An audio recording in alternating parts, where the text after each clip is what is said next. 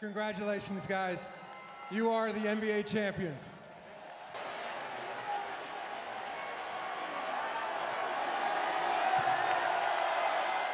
Highest level.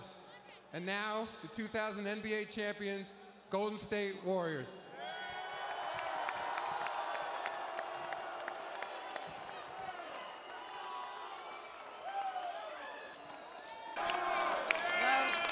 Congratulations. So, Kyle Lowry was anxiously awaiting that.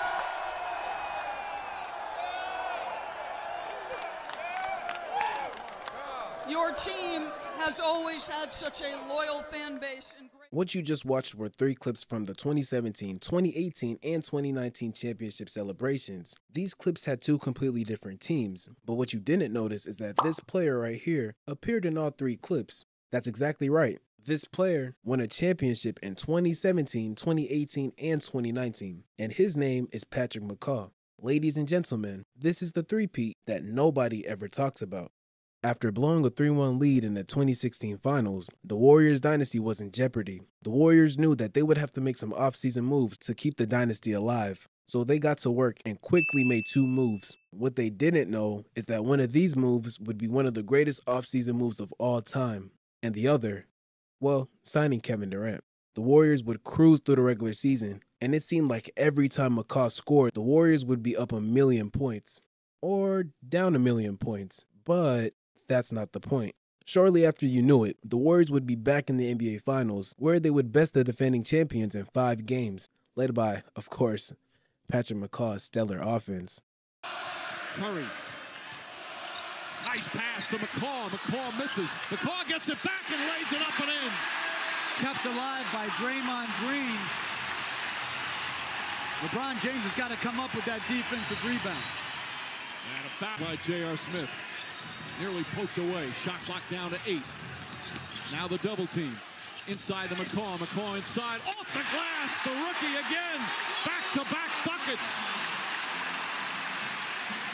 That was a difficult finish. Let's learn more about Patrick McCaw.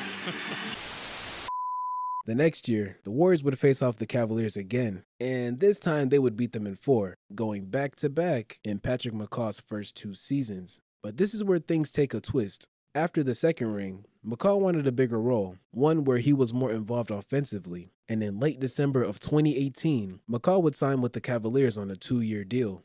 It wasn't long after, in fact, it was actually a week and a half later, that McCaw would get waived and sign with the Toronto Raptors on a minimum deal. What the Raptors didn't know is that they would get the key to the Warriors' success over the past two years. Man, imagine if the Cavaliers had kept him. The Raptors and Warriors would face off in the finals, and Patrick McCaw would get his revenge as the Raptors beat the Warriors in six games, marking his third championship in a row. McCaw would re sign with Toronto, but sadly, in the beginning of the 2020 season, he would have knee surgery and miss most of that season. Then in 2021, the Raptors would waive him, and that basically put his NBA career on pause. But back to the three-peat. This is a feat that only some legends like Bill Russell and MJ and Kobe and Shaq managed to do. However, even though they won three rings in a row, none of them ever three-peated in their first three seasons in the NBA. He won three rings in his first five years. I'm surprised McCaw's name hasn't been thrown around in the GOAT convo. Wait a second.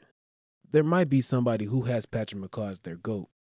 No, because I, I actually don't uh, think LeBron is, you know, the go to basketball. I think my go to basketball is Patrick McCaw. You know, I always grew up watching him, so it's never just LeBron.